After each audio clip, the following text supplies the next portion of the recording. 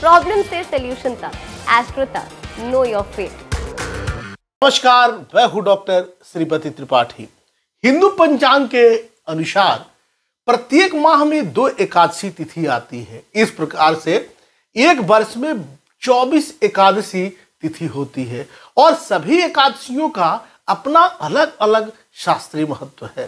धार्मिक मान्यताओं के अनुसार जो भी व्यक्ति प्रत्येक एकादशी का व्रत, नियम और श्रद्धा के साथ करता है, उसे इस संसार में सुखों की प्राप्ति होती है।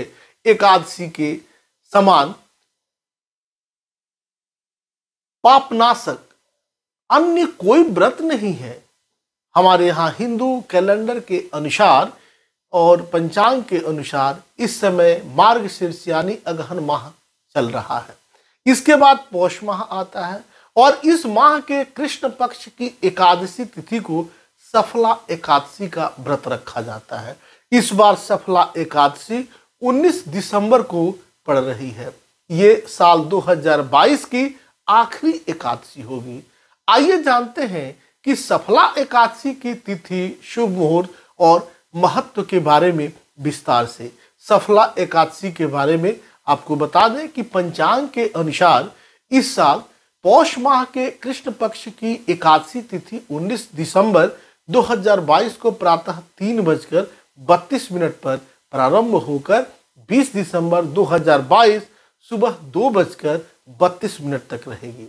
उदया तिथि को देखते हुए इस साल सफला एकादशी का व्रत 19 दिसंबर 2022 दिन सोमवार को रखा जाएगा। इस एड को स्किप करना तो बहुत मुश्किल है, पर लाइफ की प्रॉब्लम्स का सोल्यूशन ढूंढना आसान प्रॉब्लम से सोल्यूशन तक एस्ट्रो तक know your fate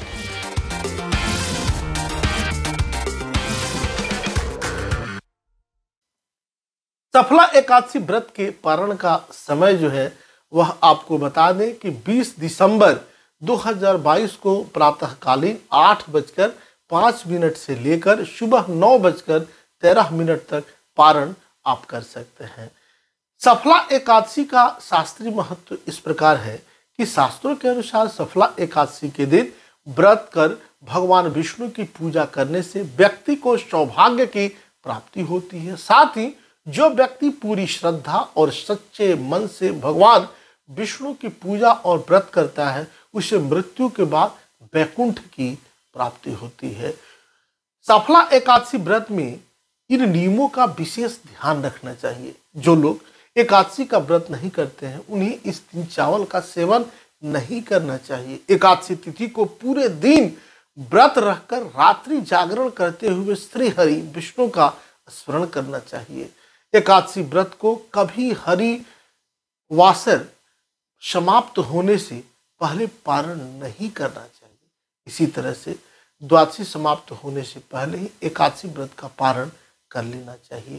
शास्त्रों में द्वादशी समाप्त होने के बाद व्रत का पारण करना पाप के समान माना जाता है। यदि द्वादशी तिथि सूर्योदय से पहले ही समाप्त हो रही हो तो इस स्थिति में सूर्योदय को का जो व्रत का पारण किया जा सकता है। द्वादशी तिथि के दिन प्रातः पूजन व एवं ब्राह्मण को भोजन कराने के बाद ही व्रत का पारण करना चाहिए। उम्मीद है आपको यह वीडियो पसंद आया होगा। मिलते हैं ऐसे ही समसामयिक वीडियो के साथ तब तक के लिए नमस्कार, जय श्री कृष्णा बंदे मात एस्ट्रो तक ऐप पर आपको मिलेगा भविष्य से जुड़े हर सवाल का जवाब। डाउनलोड कीजिए एस्ट्रो तक ऐप और चुटकी में जुड़िए इंडिया के बेस्ट एस्ट्रोलॉजर से।